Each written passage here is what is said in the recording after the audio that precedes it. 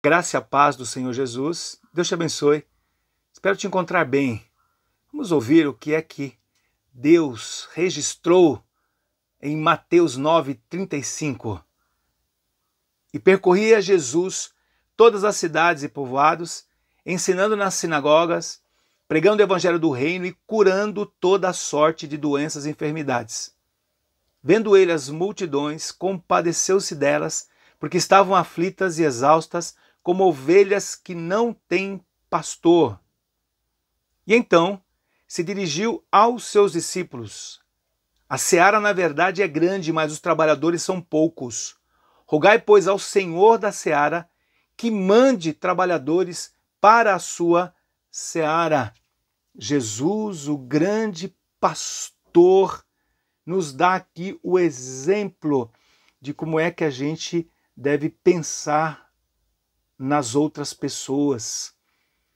Ou seja, um exemplo de pastoreio para os trabalhadores do campo do Senhor. E ele faz isso ensinando, proclamando, curando. Ensinar é o termo didasco no grego, que é apresentar a verdade de maneira harmoniosa, com base, com certeza, na missão que ele recebeu do Pai, segundo a sua revelação. Mas Jesus também proclama essa verdade, ou seja, ele coloca no coração da outra pessoa a verdade que pode edificar, revelar, mostrar de fato a realidade da pessoa. E a terceira coisa é que Jesus aplica o terapeuo, que é a cura integral do ser, não apenas a questão física, mas com certeza recuperação das emoções, da mente, da vontade, do ânimo. Como é que ele faz isso? Ele faz isso pela percepção. Jesus vê as multidões. E o que é que ele vê? Vê gente cansada, desorientada, exausta. Possivelmente como hoje em dia algumas pessoas estão exatamente dessa maneira. Por isso que ele sente compaixão. O nosso Deus é um Deus que sente a dor do outro e por isso ele aplica a sua misericórdia. Mas Jesus também fala com os seus discípulos e falando com os discípulos, ele dá uma orientação muito interessante.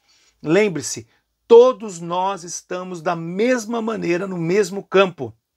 Todos nós estamos sujeitos a esta exaustão, a esse tipo de desânimo, a esse tipo de desorientação. Por isso, Jesus espera que algumas pessoas assumam de fato o trabalho que ele propõe, que é o cuidado com o outro. Eu acho que essa é uma exortação para todos nós.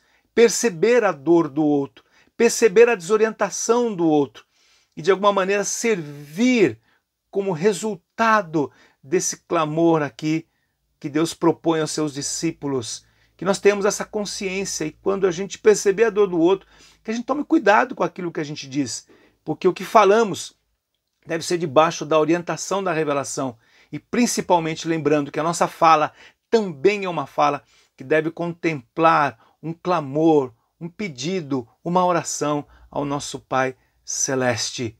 Sejamos nós, esses trabalhadores, tendo Jesus como nosso exemplo. Vamos orar? Pedir isso ao Senhor também Pai, muito obrigado pela tua palavra. E seguimos, Senhor, na mesma palavra de Jesus, clamando, Senhor, pelos trabalhadores, mas clamando também para que sejamos nós, Deus, esses trabalhadores que agem com misericórdia e com graça, apresentando e mostrando, Pai, a tua misericórdia e a tua compaixão. Em nome de Jesus. Amém. Que o Senhor nos dê graça, discernimento, tendo Jesus como o nosso maior exemplo que a gente perceba o outro e o trate com a dignidade que Deus espera que nós as tratemos. Em nome de Jesus, Deus te abençoe. Amém.